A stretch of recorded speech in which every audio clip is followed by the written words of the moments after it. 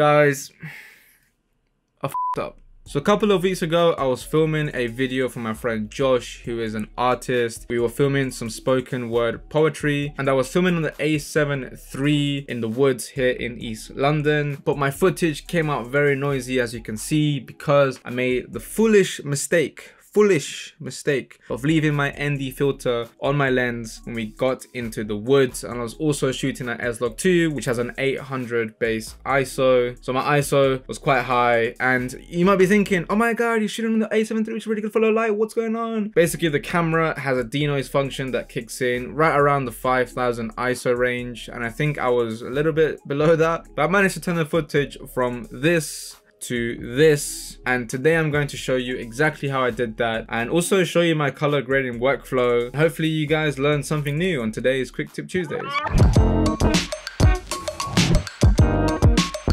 Welcome back to the Quick Tip Tuesdays. Now, this channel is about stepping up your production quality.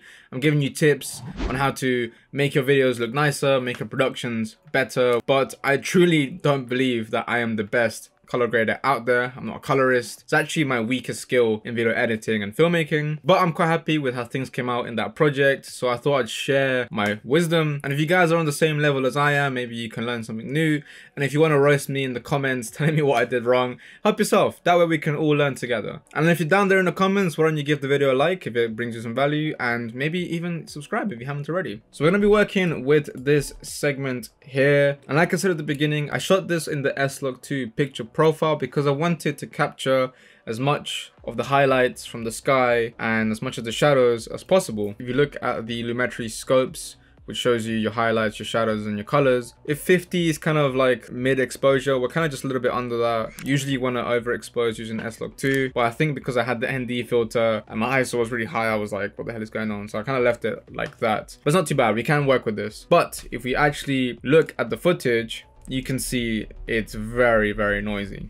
And I looked at that and I was like, so I progressed with my regular color grading workflow, which is to firstly always have your Lumetri scopes open. So as you can see, we have two adjustment layers. The first adjustment layer is going to be the color correction layer. So here I'm going to correct the colors, correct the exposure, make sure that everything looks how it should be. And in my other layer is my creative layer where I throw in my LUT, maybe adjust the sharpening and kind of just play in a creative way with the colors. So if we start with the bottom adjustment adjustment layer, I'm going to go to Lumetri color. And if I go to the color wheels and match, this is where I change my shadows, midtones, and highlights. As you can see in the Lumetri scopes, our colors are pretty much compressed and what we're going to do is we're going to get as much of the dynamic range as we can. The first thing that you can do is you can increase the highlights, make sure they don't clip, make sure they don't exceed 100, they don't get to this edge. And then you can take down your midtones and then take down your shadows. Again, same thing, make sure your shadows don't clip. And now, right now we've extended our exposure. So if you look at the scopes, we started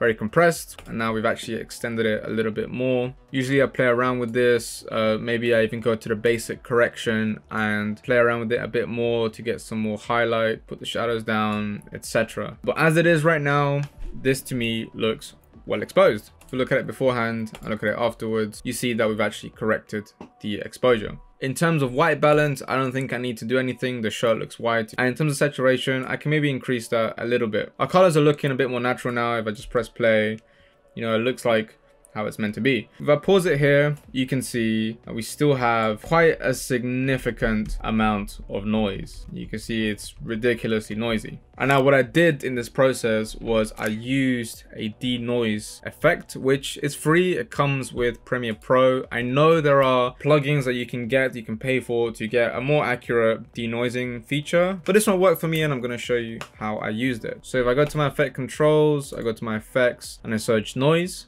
and in immersive video we have VR denoise. So I want to drag this above my Lumetri color. Uh, and as you can see, as soon as we slap it, it went from noise central to smooth village.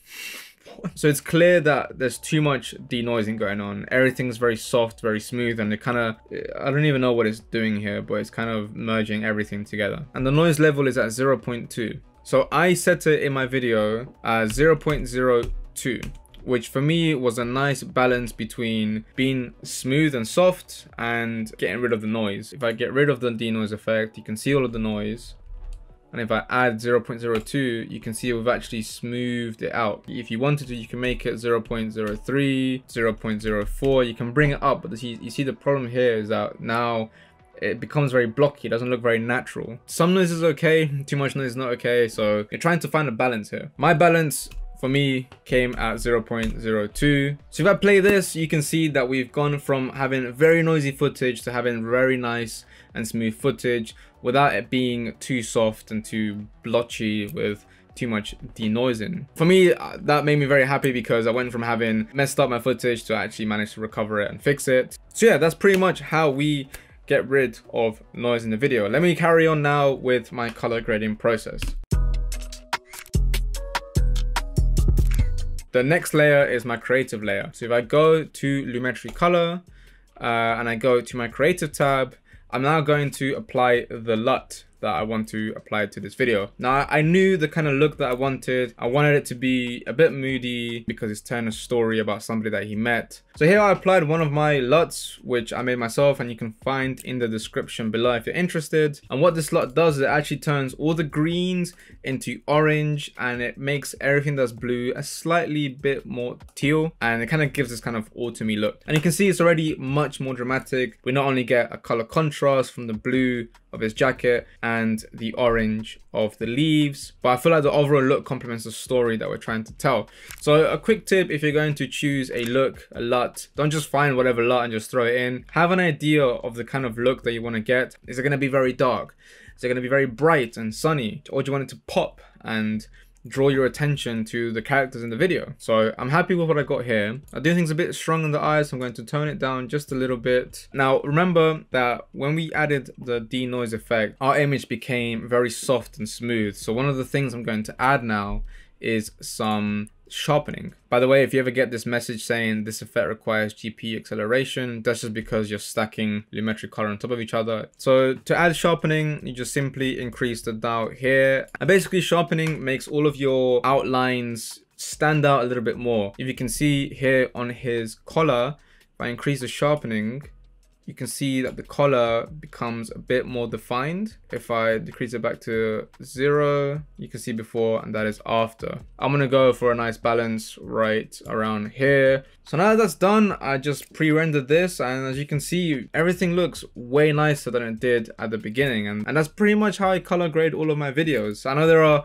some professional guys out there looking at this video and going, what is he doing? And if that's the case, feel free to let me know in the comments below any tips or advice or things that you think might look nicer. So with all that being said, that is how I fixed my noisy S-Log2 footage. I hope this video brought you some value. If it did, consider leaving it a like. If you have any questions, make sure you leave them down below because I read every single comment. If this video brought you value, consider subscribing, maybe looking at other videos I have on this channel. Some of them might help you out. If they do, then uh, you know, let me know. I appreciate it. And I appreciate you for watching this video if you got to the end. With all that being said and done, I'll see you in the next video.